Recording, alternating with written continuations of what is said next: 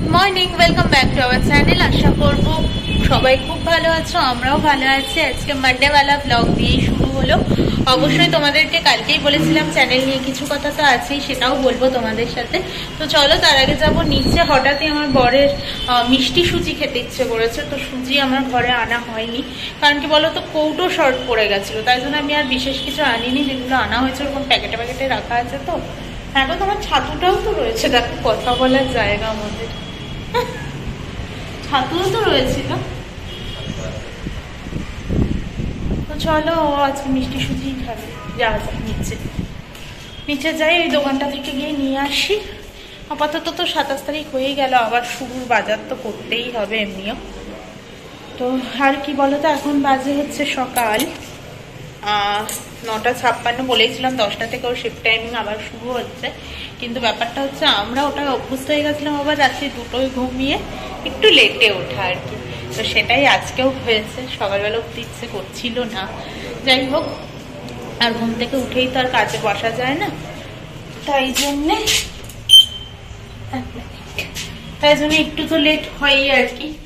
তো চলো নিচে যাই না। তো চলো ওটাতেই না যত তেজপাতা এলাচ পড়েছে আমি অত খেয়াল করে দিইনি এবার বলব আমার মুখে পড়ছে।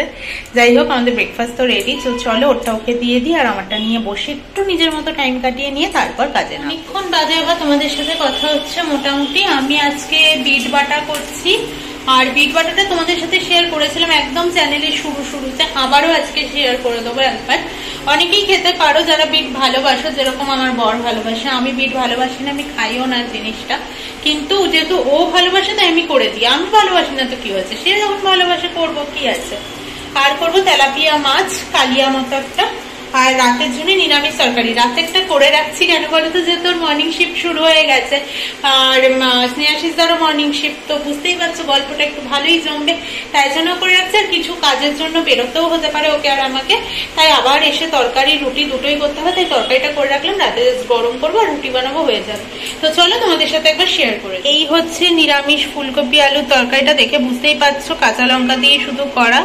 তো ওরকম রং চঙে ব্যাপারটা নেই, ওই জন্য তেলও খুবই সামান্য যেটুকু দরকার সেটুকুই দিয়েছিলাম। তো নিরামিষ একটা তরকারি, হিং ফোড়ন দিয়ে যেটা আমি করি সেইটা।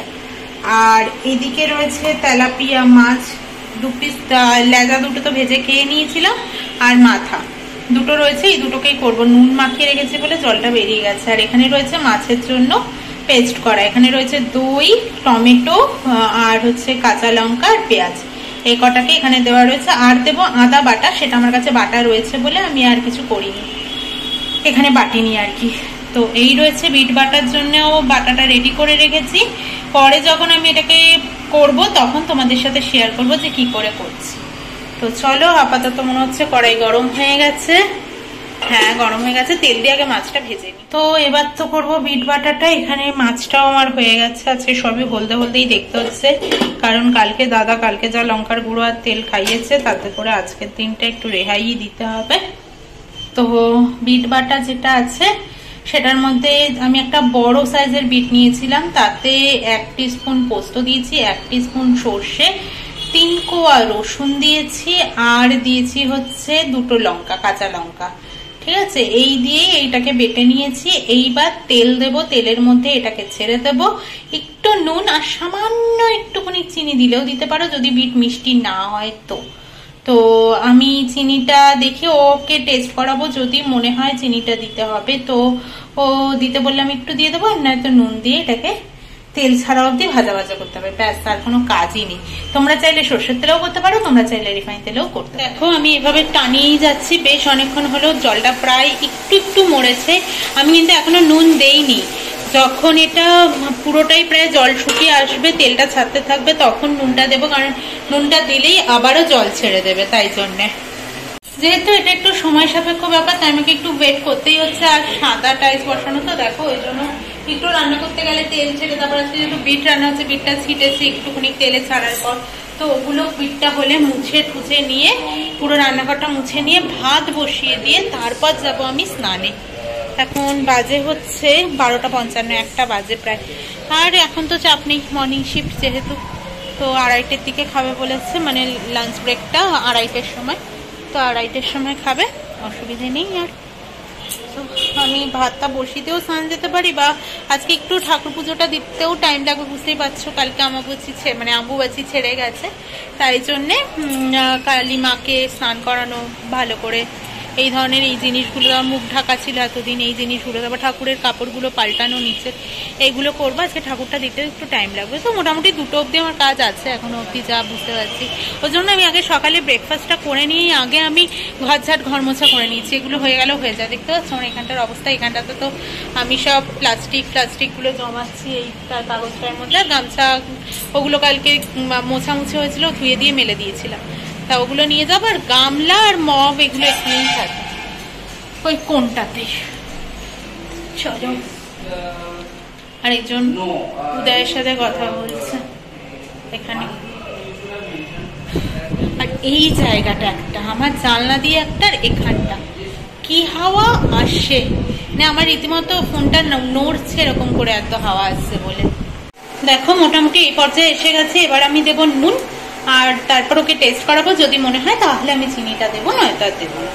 এখন বাজে একটা চোদ্দ, আমার সিঙ্ক ফাঁকা, এমনকি ধুয়ে মুছে ব্রাশ দিয়ে ঘষেও দিয়েছি।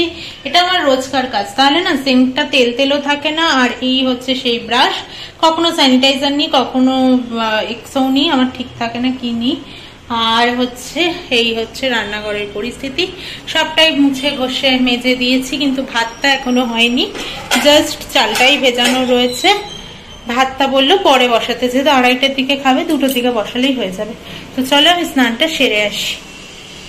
এখন বাজে পাক্কা দুটো। দুটোর সময় আমি দিলাম পুজো আর ভাতটাও বসিয়ে দিলাম। আর বাইরের ওয়েদারটা প্রচণ্ড হাওয়া দিচ্ছে দেখে বুঝতেই পারছ। ফ্যান তো চলে না, তোমরা জানোই, আর ভয়েসও কেটে যায় ভিডিওর ক্ষেত্রে।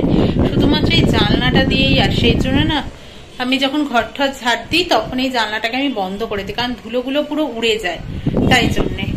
তো দেখো, বিশ্বাস না করলে। তো, আর এখন বসালাম ভাত। বললাম আড়াইটের সময় তো লাঞ্চ ব্রেক অসুবিধা হবে না। তো এই পুজো টুজো দিয়ে উঠলাম। দিনটা খুবই ব্যস্ত। দেখে বুঝতে পারছ কিনা যায় না, তবে একটা বে টাইমে ঘুম আমি লাগিয়ে দিয়েছিলাম। ভেবেছিলাম জেগেই থাকব। তো তারপর না, এও এসছে দেখো। তো ভেবেছিলাম জেগেই থাকব। ধরো এখান থেকে আমার ফোনটা পড়ে গেল হাত থেকে। মানে এখানটা একটু ব্লক করা কিন্তু রিস্ক কারণ আমার বাউন্ডারি থেকে আমি হাতটাকে বার করে দিই। তো যাই হোক না কেন যেটা বলছিলাম একটু ঘুমিয়ে গেছিলাম বে টাইমে সাড়ে চারটে অবধি না ফোন দেখছিলাম একটু স্ক্রল করতে করতে করতে করতে। তো ওই জন্যে আরে ভয় নেই পড়বে না না আমি ধরে রাখি না ঠিক করে। তো ভেবেছিলাম ঘুমাবো না ঘুমাবো না, করতে করতে না, হট করে সাড়ে চারটের সময় দেখছি, ঘুম থেকে উঠে দেখছি ফোনের ওপরে হাতটা ওভাবেই পড়ে রয়েছে, আমি কাত হয়ে শুয়ে রয়েছি। তো যাই হোক না কেন, চা নিয়েছি ওই জন্য, বে টাইমে একটা ঘুমালে না ক্যামেরাটা ম্যাচ ম্যাচ করতে থাকে। এখানে কথা বলা যাবে না, বেকার দাঁড়ানো। তো যাই হোক না কেন, আমি আমার চ্যানেল নিয়ে কিছু বলব, তোমাদেরকে বলেছিলাম, তো সেটা এখনই বলে দিই। সাদা আজকে আর যেতে ইচ্ছে করছে না খুব একটা, আর আমরা ওর কাজটা শেষ হয়ে গেলে বেরোবো একটু দরকার আছে। তো আমি ঠিক করছি। এখন থেকে অনেকেই তোমরা বলো যে কন্টেন্ট আর আমার নিজেরও না সত্যিই ভালো লাগে না ওই সকালবেলা গুড মর্নিং রাত্রিবেলা গুড নাইট দিয়ে শেষ করতে। হ্যাঁ অবশ্যই ডেইলি লাইফ যখন এটা আমাকে করতেই হতো, তার বাইরে আমার কোনো অপশান ছিলও না সেই রকম তাই জন্য আর অনেকেই আমাকে বলছিল, রান্না চ্যানেল খুলতে আমাকে নিজেদের মধ্যে তো দিয়া বলেছে, অনুরূপা বলেছে। এছাড়াও অনেক বন্ধু আছে যারা বলেছে। তো সেটাই না ভাবছি। মানে হঠাৎই আমি চ্যানেলটাকে, পুরোটা রান্নার চ্যানেল আমি সেটা করতে চাইছি না। যেহেতু আমি ডেলি লাইফ দিয়ে ব্লগিং চ্যানেলটাকে শুরু করেছি, সেটাকেও আমি ছাড়তে চাইছি না। মানে রোজ দিন তোমাদের সাথে কানেক্ট না থাকলে আমার নিজেরই হয়তো ভালো লাগবে না। সেটা আমার সাবস্ক্রাইব বাড়ুক চাই না বাড়ুক ভিউজ আসুক চাই না আসুক, এইটা আমার একটা অভ্যেস হয়ে গেছে যেহেতু ভালোবেসে করি। তো, ওই জন্যে আমার মনে হয়েছে যে এখন থেকে সপ্তাহে সাত দিনই আমি ভিডিও ছাড়ি। তো তার মধ্যে থেকে যে কোনো তিন দিন রান্না যাবে, সেটা তোমরাও চুজ করে দিতে পারো কবে কবে হলে ভালো হয়। আর আদারওয়াইজ আমি কয়েকদিন ওয়েট করব। যদি সেরকম কমেন্ট না পাই, তাহলে আমি নিজেই ঠিক করে তোমাদেরকে জানিয়ে দেবো কোন তিন দিন যাবে হচ্ছে রান্নার ব্লগ আর কোন বাকি চার দিন যাবে ডেইলি ব্লগ তো আমার মনে হয়েছে তাতে করে কিছুটা ব্রেকও হবে। এমনই নয় যে বাকি তিন দিন শুধুমাত্র রান্নাই যাবে। যদি কোথাও ঘুরতে যাই, তো সেটাকেও আমি অ্যাড করে দেবো। আমার যদি সেখানে টিকিট খরচা লাগে, যদি আমি সেখানে গাড়ি করি বা ট্রেনে যাই বা ধরো স্কুটিতেই গেলাম কত কিলোমিটার আমার এখান থেকে, তো আমি সব নিয়ে, যাবতীয় সব কিছু নিয়ে ওই ব্লগও বানাতে পারি। তো আমার মনে হয়েছে সপ্তাহে তিন দিন কোনো ব্রেক করার ব্লগ থাকবে, সেটা রান্নার ব্লগ হতে পারে, বাকি তিন দিন যেরকমটা বললাম, আর বাকি চার দিন ডেলি ব্লগ যাবে। তো সেই তিন দিন, চার দিনটা তোমরাও ঠিক করে দিতে পারো কি কি বার হলে ভালো হয়। আর আদারওয়াইজ আমি কয়েকদিন ওয়েট করে তোমাদেরকে জানিয়ে দেবো।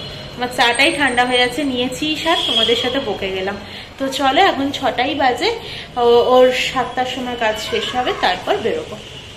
এসেছি তো নার্সারিতে, এটা হচ্ছে, ওরে বাপরে, এটা হচ্ছে বানেরহাট্টা রোডে, ওই মাথা থেকে লাইটটা জ্বলছে, ওখান থেকে শুরু মোটামুটি, এইদিকে গিয়ে শেষ হয়েছে।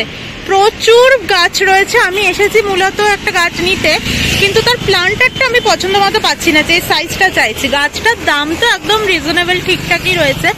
কিন্তু ব্যাপারটা হচ্ছে, পাচ্ছি না তো বানেরহাটটা রোডে পরপর নার্সারি রয়েছে, আমরা একটু এগিয়ে দেখি। রাতের ডিনার তো কমপ্লিট হয়ে গেছে। ডিনারে ছিল ওই ফুলকপি আলুর তরকারিটা রুটি, তো সেটা তোমাদের সাথে আমি সকালেই শেয়ার করে দিয়েছিলাম। আর তো সেরকম কিছু নয়, তো চলো আজকের দিনটা তো এখানেই শেষ করার পালা হয়েই গেল। একটু মনটা খারাপ ছিল, কারণ নার্সারিতে গেলামও একটা কাজের জন্য, কিন্তু হলো না কাজটা। যাই হোক, অন্যদিন হবে। কয়েকদিন একটু দেরি করতে লাগবে, যেটা মানে যেরকম আমি চাইছি মনের মতো। দেখো মানে বেকার বেকার কিনে জিনিসটাকে তারপর বললাম, না, আমার সাইজ মতো ঠিক হচ্ছে না, পছন্দ হচ্ছে না। সেইটা আমি করতে চাইছি না। টাকা বেকার যেটুকুই যাক না কেন নষ্ট করতে চাইছি না আর কি। তো ওই জন্যে মনে হয় যেটা আমার পছন্দ হবে, সেটাকে একটু দেরি করে হলেও সেটাই করা উচিত। তো, আর জিনিসটা খুব কাছের হবে, তাই জন্যে মানে খুব মানে অনেক দিন ধরে চাইছি, কিন্তু ওই ফ্ল্যাটে জায়গা ছিল না বলে করতে পারছিলাম না। তো এই ফ্ল্যাটে নেব সেটা। যাই হোক না কেন, তো চলো। আজকের মতো টাটা গুড নাইট আর আমি আমার চ্যানেল নিয়ে যে আইডিয়াটা তোমাদের সাথে শেয়ার করেছি, সেটা কেমন লাগল, সেটা করলে কেমন হয়, তোমরা একটু আমাকে জানিও। তো চলো, আজকের মতো টাটা গুড নাইট কালকে আবারও আসব একটা নতুন ব্লগের সাথে। যদি তোমাদের ভালো লেগে থাকে এই ব্লগটা আর যদি চ্যানেলে নতুন হয়ে থাকো, এরকম কেউ যে সাবস্ক্রাইব করে মানে করা হয়ে ওঠেনি এখনও, তো এরকম থাকলে প্লিজ সাবস্ক্রাইব করে পাশে থেকে লাইক করো শেয়ার করো কমেন্ট করে জানিও তোমাদের কেমন লাগল।